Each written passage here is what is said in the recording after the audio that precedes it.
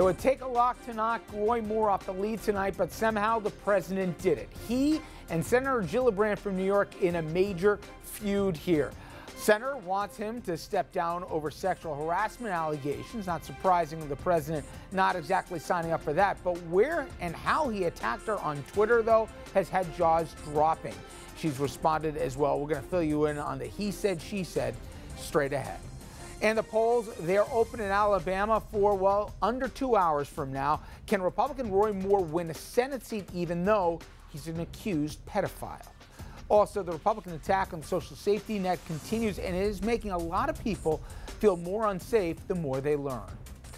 Even everybody, and welcome to RFL. I'm Richard French, and we do start with that war of words between President Trump and Democratic Senator from New York, Kirsten Gillibrand. And this is what started the feud between the two New Yorkers.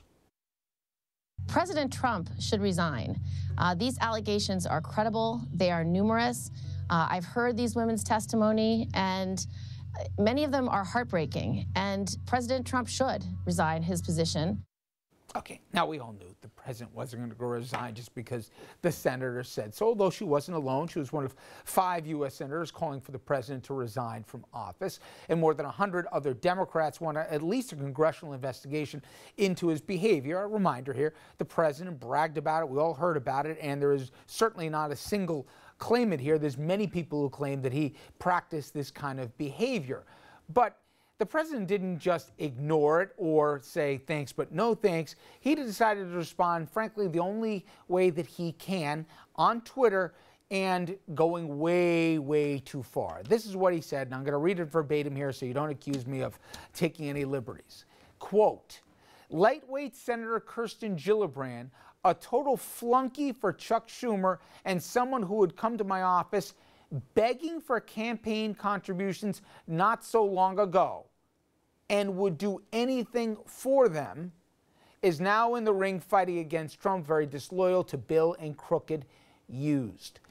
Many people saying there is a clear sexual innuendo or subtext to what the president had to say, but White House Press Secretary Sarah Sanders said it's only in your mind. Many, including Senator, thinks that it's about um, sexual innuendos. I think only if your mind is in the gutter would you have read it that way. And um, so, no. So far, I haven't found anyone who has said they didn't read it exactly the way that both Gillibrand and others have interpreted it. Okay. For her part, the senator said that that tweet was a sexist smear, and she tweeted this response You cannot silence me or the millions of women who have gotten off the sidelines to speak out about the unfitness and shame that you have brought to the Oval Office. There is no consistency to the way that these allegations are handled. We know President Trump, he's denying everything and he's not going anywhere. Roy Moore also denying everything, and he could be headed to the U.S. Senate as early as this evening. But Al Franken, he resigned from the Senate over allegations made against him that he acknowledged. Now, many people say Maybe Franken shouldn't have stepped down, or if he did, he did so too quickly, including some surprising people. Zephyr Teachout, one of them. You remember her. She ran for not only Congress, but before that for governor and gave Andrew Cuomo a scare four years ago. A lot of people didn't see it coming. Here's what Zephyr had to say uh, in today's uh, Times, and I'm going to read a portion of it. Due, due, process means a fair, full investigation with a chance for the accused to respond, and proportionality means that while all forms of inappropriate sexual behavior should be addressed, the response should be based on the nature of the transgressions. Both were missing in the hasty call for Senator Franken's resignation. She wasn't alone, by the way. Here is what uh, um, uh, Ruth Marcus had to say in the Washington Post, and also she's known as a progressive uh, columnist. She said, What gives me pause is both the rush to judgment and the one size fits all nature of the punishment given the significant differences in seriousness between the Franken allegations and those against Trump and Moore. Okay, with all that as a backdrop, let's bring in our panel tonight. Democratic Assemblywoman Shelley Mayer. She now running for George Latimer's state Senate seat in New York's Westchester County. Dominic Carter, political journalist and author. Republican strategist Joe Pinion. Okay, first off, um, did everybody read the tweet the same way that I did and not just Gillibrand? that Trump really went there when he said that she came asking for money and we'd be willing to, his words, do anything to get it? I don't think there's much ambiguity there. I can't imagine any adult would read it any different way.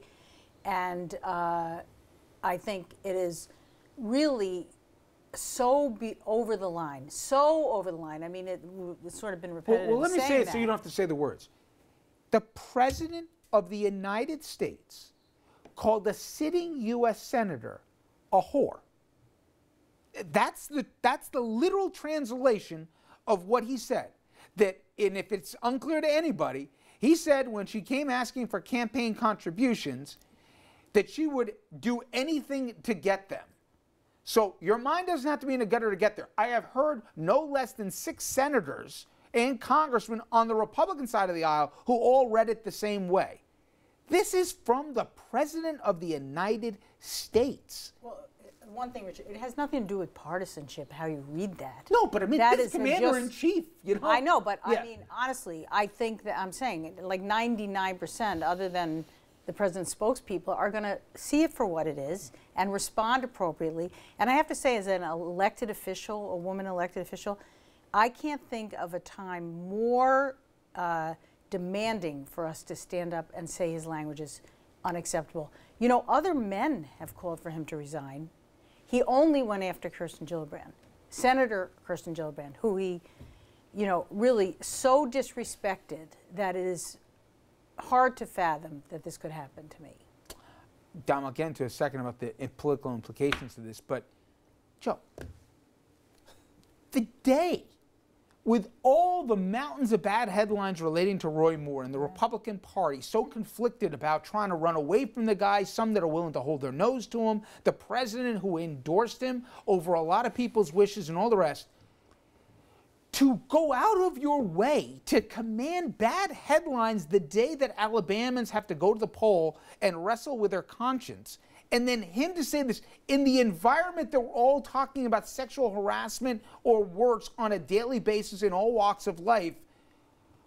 Anybody who says he's crazy like a fox, he's just crazy. Well, I think that we have to stop working under this assumption that everything that he does is strategic. I've said many times that there is no three-dimensional chess occurring here. I keep telling even Dominic this. He You know, even if, me. if you if you look even yesterday, we had you know an attempted terrorist uh, attempted terrorist attack here in New York. Monday, attempted terrorist attack here in New York City.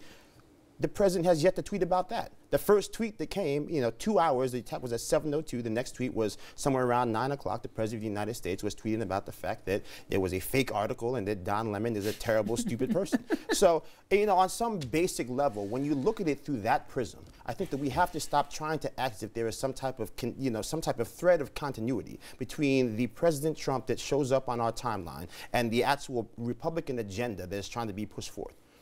You know, Dom, um, you and I know from covering uh, now Senator Gillibrand that one of the worst kept secrets in New York politics was that her political ambitions sometimes would rankle more than a few, primarily Democrats. That she wouldn't wait her turn, some would say, that she'd leapfrog, that maybe she took a few cues for uh, Senator Schumer, that there was not a camera that she wouldn't Those are like. the- those are the nice okay. allegations. Yes. But if Donald Trump said what he said about her, and certainly she wasn't the only voice who was saying this. He singled her out because he saw a potential threat in 2020. He gave her the biggest gift and platform that now she's the face, in effect, of the resistance with Trump. She's not going to go away. Whatever she is, she's tough, right? And for him to make a huge calculated blunder added to the list, but to do this, she's already fundraising on it, and she should, okay? My point is, bad move, okay? Because now you've elevated one more Democrat here uh, that could have at least sights on your job. It's despicable what the president of the United States Hey, did. and I, can I interrupt you and just say, this? a city councilman in New York would never dream of saying something like this against, let's say, the city council speaker or someone else. No, we don't know anyone, Dominic, But in elected life but- that would say something like that about somebody Richard, else. I'm going to say something that's unconventional. It's going to get me in trouble. The despicable act is part of what got him elected president of the United States. Now, it's horrible what he said, but I don't think it was that he's crazy. He did this deliberately, deliberately. The, what he's really saying is the few this story has legs I, I i'm not going to go into it right now but he's throwing the first shot at Senator Gillibrand. And what he has shown a history of what did he do to Joe and, and Mika at MSNBC? yeah. Right. He talked about their uh, relationship, which at the time was an affair. This story has legs. That's that. It's despicable what he did. I don't see how this benefits him or the Republican Party. He's assuring that he's going to be a one-term president, and maybe that's why he's doing it because he knows there'll be no second term. And, and, and the bizarreness of this, by the way, was when pressed at the press conference, and I don't fault Sarah Huckabee Sanders. What does she do? She's got an audience of one, right? She's got a. She said, okay, well, if it's just in all our imaginations, where was he going then? He was talking about the need for campaign finance reform and about how lobbying in Washington is so pervasive and we need to curtail it and drain the swamp. I, it, it is beyond insulting the intelligence where they're going with this. It's on some basic level again, whether it is what everybody from Kristen Gillibrand or Kristen Gillibrand herself to you know to Rick Santorum has has interpreted that as with this a crass comment made to in many ways have sexual innuendos. If it's even just a quid pro quo or quid pro quo, then let's admit the fact the president of the United States just publicly to millions of people asserted that a sitting U.S. senator is basically having her votes bought. So I, I think on, you have to at, at least do that prism. And, and when pressed, by the way, to that point, when asking the presser today, well, what exactly um, did this money uh, that you allege to have given uh, buy you access for? He couldn't name any of it either. I mean, it's just all, it's just a. But, but I do think it's important to sort of step back and think about it in the context of our democracy, because we have people who voted for Trump, to your point, in all, in, in all of our communities. I don't think they bought this. They did not buy into Agreed. this. Agreed. This is over the line. I have many Way, constituents way who voted for Trump. line. I have a very respectful relation, disagreeing with them about him. This is an embarrassment to the presidency and to the office of the presidency. Take the person out. And it's also an embarrassment to the institution of the United States Senate. And like you said, in the Yonkers City Council, they would not engage in this. There would be absolute pandemonium if someone accused somebody of this behavior.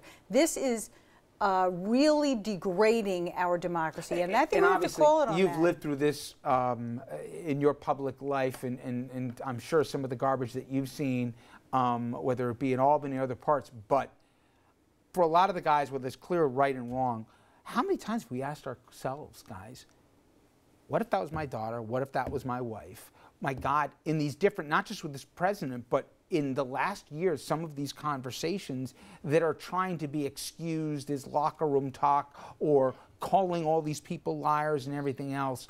We didn't get time to the second half of the conversation about this moving target and this moving line and how you do. Is there such a thing as due process anymore with this?